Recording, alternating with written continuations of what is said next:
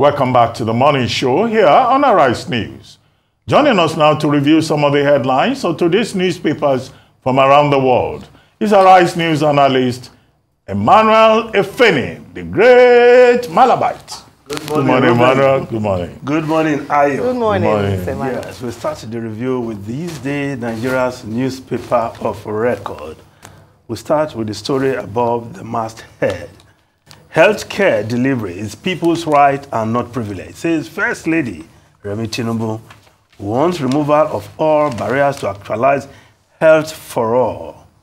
World Health Organization, 4.5 billion people lack full essential health.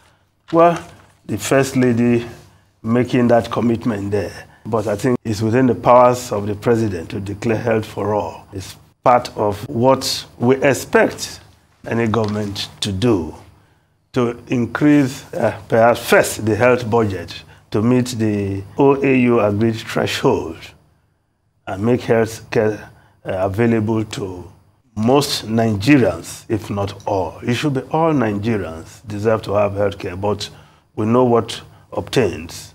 Government hospitals, yes, many government hospitals have the personnel,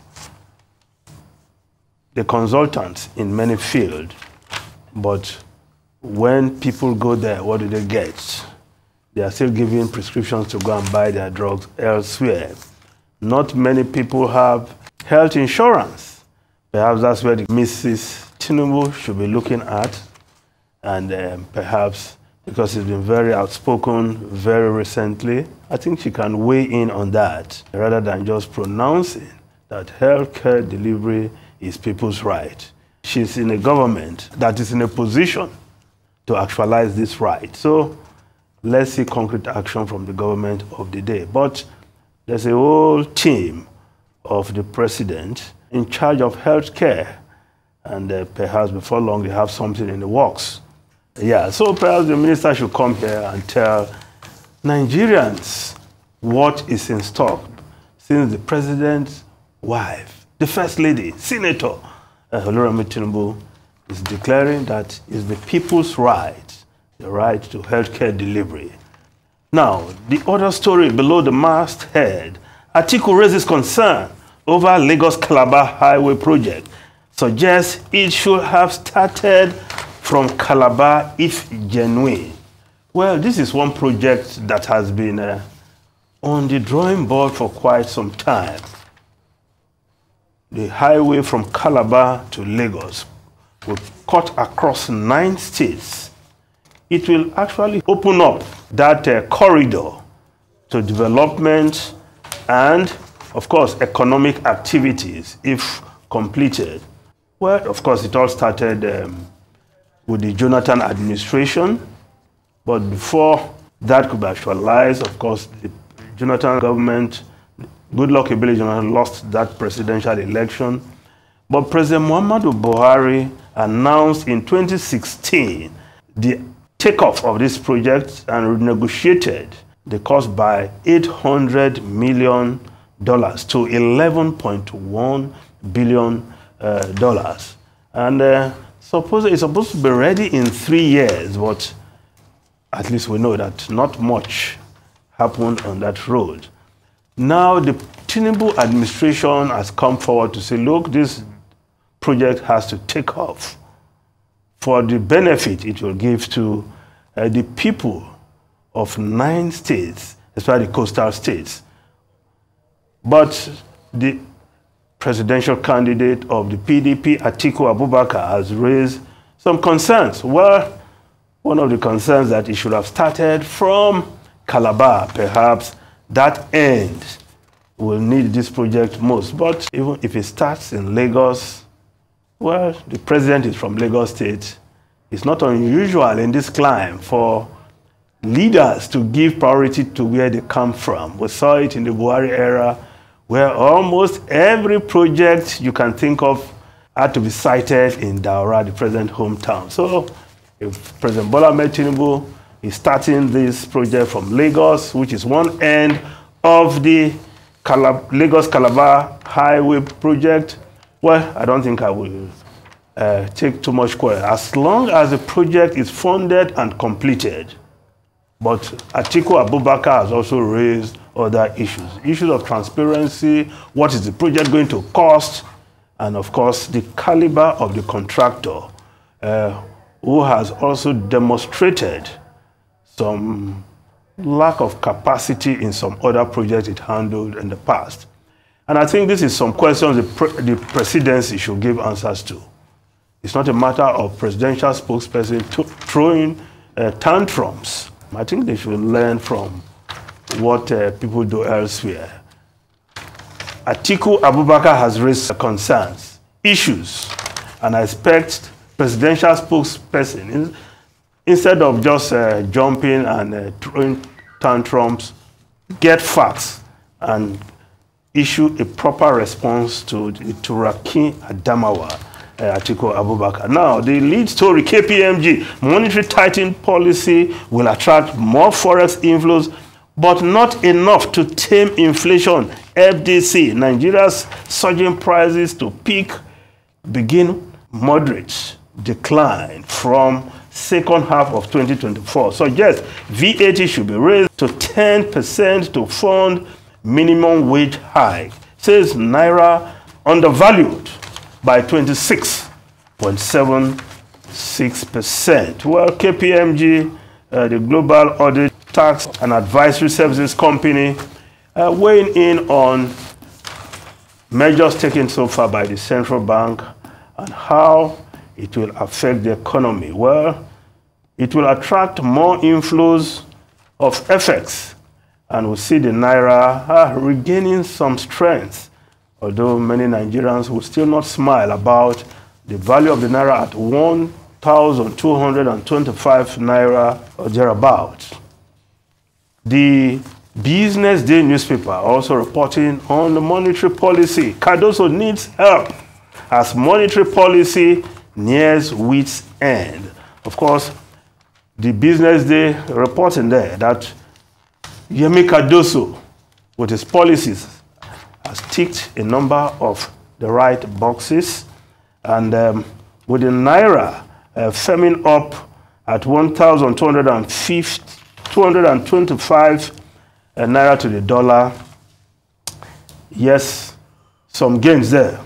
But the paper is saying that um, this was made possible after scarce dollar from foreign portfolio investors poured in on the back of the CBN reform. So CBN reforms there attracting uh, some portfolio investors and we're seeing more FX coming into the system. Now, the Guardian newspaper also talking about the finance sector, road to 500 billion naira recapitalization.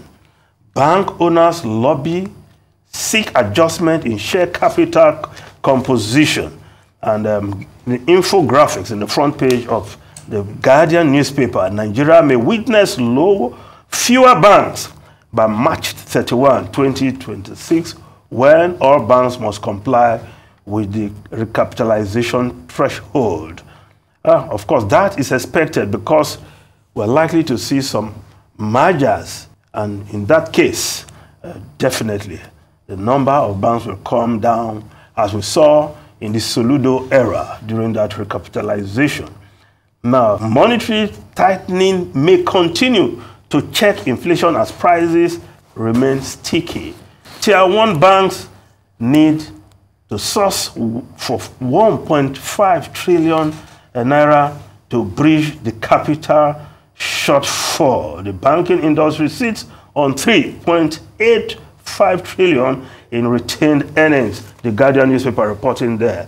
Now, the Punch newspaper, federal government plans three national ID cards for 104 million Nigerians in June. NIMC awaits presidential approval for May launch, says procurement will be seamless. Nigeria to get different e-cards for banking, social intervention, ECOWAS activities. Well, three national ID cards, I don't know how that will look. Why not one that can do all uh, you can use for all transactions. Will that not be an unnecessary waste of funds for Nigerians to have three national ID cards? Well, the promise is that obtaining these cards will be seamless because for now Nigerians are still carrying pieces of paper as their NIN identification.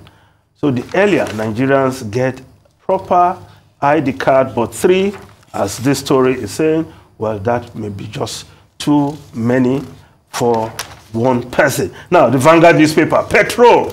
Oil marketers propose 550 naira per litre price to Dangote. Talks ongoing over price margins. Others, marketers. Let's enjoy benefit of domestic refining. Experts, consumers Uh, are urging. Sector-wide impact expected. CPPE, refinery owners tax federal government on $1 billion fund. While the Daily Trust newspaper reporting Nigerians in UAE stranded over work permit visa ban. Lose over 200 jobs, face discrimination. They should return home to build Nigeria. Discussion ongoing to resolve issues, minister's aid. Below the photograph, palliative, nine die in stampede in Wamakko's house. This happened in Sokoto State, Aliyu Wamakko, uh, bigwig, uh, top politician uh, of the APC Hill, were distributing palliative for the Salah. And nine people died in the stampede. A shame. Poverty, palliative, and death. Story of Nigeria these days. Not acceptable. Abuja Inquirer. Abuja tops banned. A users. Asokoro Garki lead.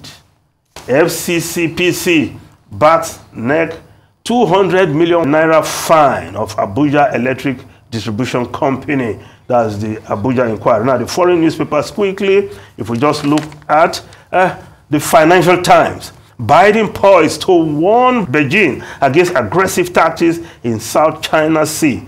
That's the Financial Times. Fears over Philippines-based president to underline U.S. defense pact. Bid to get Japan into AUKUS. Now, the Wall Street Journal, the lead story there, six months after Hamas attack, Israel's world is upside down. Yet, Israel seems to be spoiling for more in that attack of Iranian embassy in Syria because there's likely to be retaliation. Retaliation will follow retaliation, and of course, there will just be expansion of the war in the Middle East. Of course, another story on the front page of the Wall Street Journal is economic data stir doubts about Fed rate cuts. Latest strong job number fuels on fewer reductions this year or even more. Reuben and Ayo. Okay, uh, three quick things. Earlier on, I was commenting on Philip Shaibu, uh, the deputy governor of Edo State. Who has been impeached. Yeah. And I said he had it coming anyway. And the enabling section of the Constitution is Section 188. On the surface of it, the House of Assembly at those State will seem to have followed that process. But Philip Shaibu refused to defend himself. His lawyers his the counsel, His yeah. counsel also refused to show up because you have the They went there and they were asked, citing a court injunction. Yes, a, a high court, a, a federal high court injunction. Yeah, and of the panel ha- maybe we have not had the end of the story yet. But what I was referring to earlier on is that under section, that section 188, which deals with removal of governor or deputy governor, sub 10 says the court cannot inquire into it. Sub 11 says gross misconduct is as defined by uh, the House of Assembly. And in this case, they are accusing Shaibu of perjury. They are accusing him of leaking uh, government secrets. Maybe he and his counsel will still go back to, uh, will go to court and say uh, the legislature acted in contempt. But I don't see how far it will go. It's not always that they succeed in court. After all, well, Ladoja succeeded in uh, in Akoju versus Adeleke After he had been removed, uh, popularly known as the Rashidi Ladoja case. Yes. So let's see what happens. But you know. Well, the wheel of um, impeachment, once it starts, it takes its normal course, and Philip Shaibu is out. yeah, okay. We saw it coming, how uh, two powers, Obaseki and Shaibu, who were like good bedfellows, you will say, to the extent that Godwin Obaseki told PDP, I must run with my deputy. And now things are falling apart. apart. And And uh, Philip have to Shaibu go. Emmanuel- Shaibu is no longer Emmanuel the Ifeanyi. deputy governor. Maybe And- somebody and will the take first lady is right to say health is uh, everybody's Yes. You're right. But let, they should actualize it. They are Sec- Section 17 of the 1999 Yes, it's- Constitution says that all of us we have the right to be well taken care of Very, very true. by the Nigerian Very well government. said. Okay, thank you very much, Emmanuel. Ifeanyi.